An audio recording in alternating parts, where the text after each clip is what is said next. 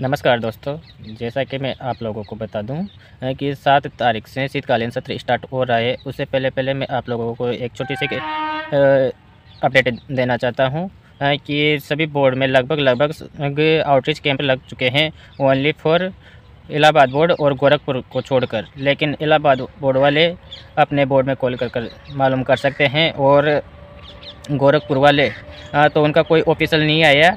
लेकिन गोरखपुर में outreach camp के रिगार्डिंग वहाँ जो भी वो ऑफिशियल साइट पर नहीं डाल रहे, लेकिन वहाँ ऑफलाइन जा, जाकर आप अपनी समस्या बताकर आउटरीच कैंप का प्रिंट निकलवा कर जो परफॉर्मा है, उसका प्रिंट निकलवा कर भरकर देकर आ सकते हो अपने आरआरबी गोरखपुर में।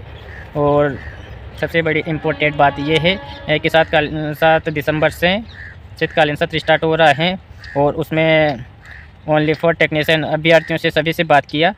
सभी आरआरबी के कैंडिडेट्स हैं। ओनली फॉर एनडब्ल्यूआर अजमेर को छोड़कर और भोपाल बोर्ड को छोड़कर। इन और बाकी सभी लड़कों से डिस्कस किया। सारी बातें हैं। तो लगभग लगभग सभी बोर्ड से कैंडिडेट दिल्ली पहुँच रहे हैं। प्रत्येक आरआरबी से दो कैंडिडेट तीन कैंडिडेट दिल्ली पहुँच रहे हैं। उन्नीस आरआरबी के लड़कों से मैंने बात किया। तो अब अपना मुद्दा रखवाने के लिए क्योंकि काफ़ी मेहनत करने के बाद में भी कोई आउटपुट निकल कर सामने नहीं आ रहा था। इस वजह से ये प्लान रखा गया कि मामला कहाँ फंसा हुआ है क्या है क्या नहीं है सारी बातें क्लियर करने के लिए। आ, तो वो कुछ लड़कों का ये था कि पैसे की प्रॉब्लम है कि तो फिर मैंने सभी लड़कों से यही बोला है कि प्रत्येक आरआरबी से दो दो या तीन तीन कैंडिडेट आएँगे तो उसका खर्चा उनके ग्रुप वाले उठाएँगे उसी आरआरबी के। लेकिन सुनने में ये भी आ रहा है कि तो इतना सा कहना चाहता हूँ कि only for technician candidate J वाले भी उनके इस तरह से प्रयास कर रहे हैं टेक्नीशियन वाले भी दिल्ली में प्रजेंट टाइम में उनके इस तरह से प्रयास कर रहे हैं, हम खुद भी जा रहे हैं, है ना, उन लड़कों का साथ देने, ऐसी बात नहीं है अपने बोर्ड की तरफ़ से, और जितना सा कहना चाहता हूँ कि जो फंडिंग इकट्ठी की जा रही है ना, वो किसी भी एक कैंडिडेट के अकाउंट में नहीं जाना चाहिए। प्रत्येक आरआरबी में अलग अलग ग्रुप बनी हुई हैं तो अपने ग्रुप के अपने बोर्ड की तरफ़ से जो कैंडिडेट दिल्ली पहुँच रहा है, उनकी हेल्प हेल्प करना है, ना कि कि हर किसी पे, क्योंकि आप लोगों को मीठी मीठी बातों में फंसाया जा रहा है। जैसा कि मैं आप लोगों को बता दूँ कि एक कैंडिडेट था, जिससे लगभग लगभग सभी आरआरबी के कैंडिडेट जानते हैं। वो भी लड़कों को ऐसे मीठी मीठी बातों में फंसाया करता था कि एक बच्चे का दर्द आठ हज़ार बच्चों का दर्द बराबर होता है और जैसे उसका सिलेक्शन हो गया निकल गया। आज दिन तक आप लोग को लोगों को नज़र नहीं आ रहा। क्यों नहीं आ रहा? जब उससे कर, कर, जो फंडिंग का हिसाब मांगा मांगा जाता है हाँ तो गालियाँ निकाल देते हैं है ना? तो उसी प्रकार आपसे भी सावधान रहिए। अगर आपको फंडिंग करनी है तो ओनली फॉर टेक्नीशियन वाले, अभ्यर्थी टेक्नीशियन वाले अभ्यर्थियों को ही अपने बोर्ड में के कैंडिडेट को फंडिंग करे सौ रुपये, पचास रुपये से ज़्यादा कोई भी ना करे, है ना? सौ रुपये या पचास रुपये, है ना? इससे ज़्यादा कोई ना करे, ठीक है? और रही बात हाँ ये इतनी सी बात कहना चाहता हूँ कि जे वाले कैंडिडेट जैसा बता जा रहा है कि हमारे पास फंडिंग करो, ठीक है? तुम्हारे पास जे वाले दो ढाई हज़ार कैंडिडेट हैं, वो क्या कम पड़ गए हैं क्या? फंडिंग करवाने के लिए जो टेक्नीशियन अभ्यर्थी तुम्हारे पास फंडिंग करेंगे हाँ?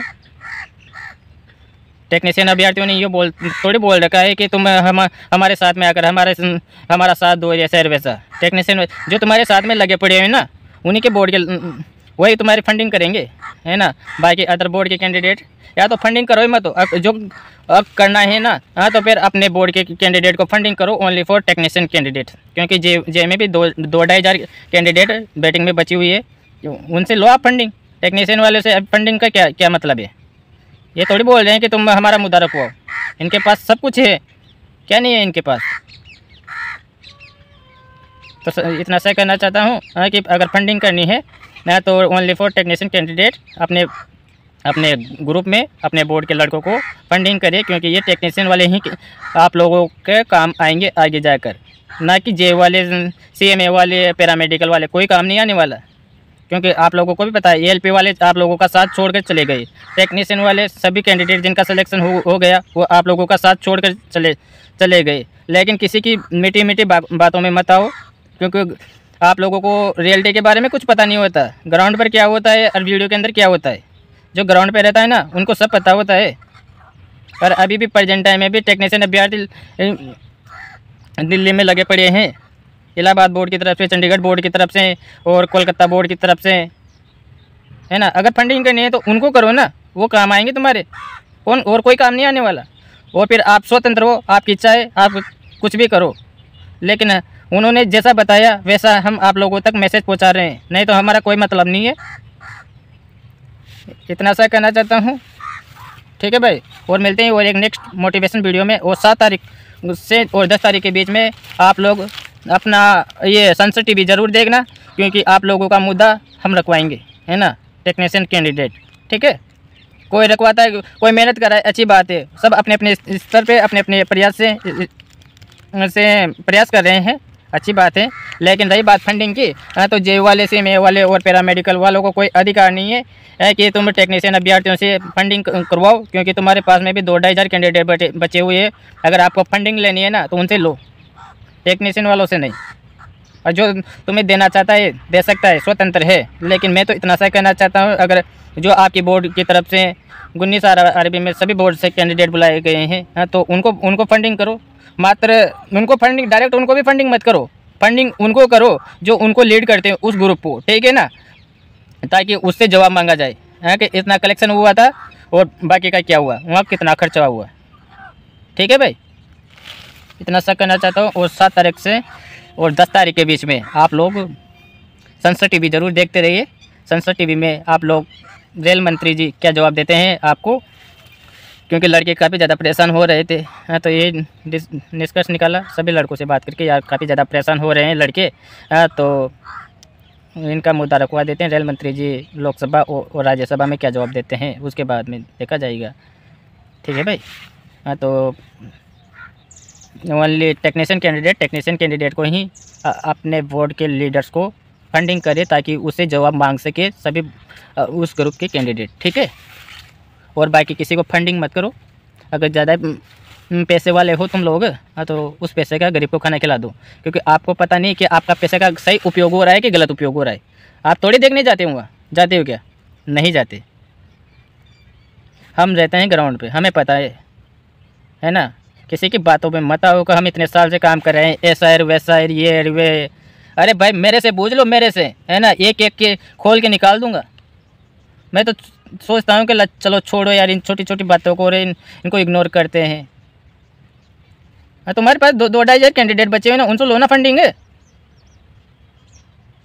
ना तो ग्राउंड पे आते हैं और ना फंडिंग करते हैं ओनली फॉर टेक्नीशियन वाले बेकूफ़ इंसान हो तुम। यार हमें पता चल गया ना हाँ कि ये जो टेक्नीशियन कैंडिडेट जे वालों को भी फंडिंग कर रहे हैं। हाँ तो हम ये लास्ट बार होगा आप लोगों का साथ देने का। इसके बाद में मैं खुद इस चैनल को डिलीट मार दूँगा, ठीक है? मुझे कोई भी शौक नहीं है वीडियो बनाने का, ठीक है? देखे देखो, आप फंडिंग पता चलना चाहिए मेरे को। मैं खुद जा रहा हूँ दिल्ली। जितने दिन भी लगेंगे, दो दिन, तीन, चार दिन चार दिन, पाँच दिन, सात दिन, आठ दिन, दस दिन, वहीं रहूँगा और सबके साथ में मिलकर काम करूँगा। सभी सांसद जिन जिन सांसदों से हमें मुद्दा रखवाना है, हम रखवाएँगे आप तो ओनली घर बैठ कर सात तारीख से और दस तारीख के बीच तक संसद टीवी ज़रूर देखें। उसमें इतना से कहना चाहता हूँ। ठीक है?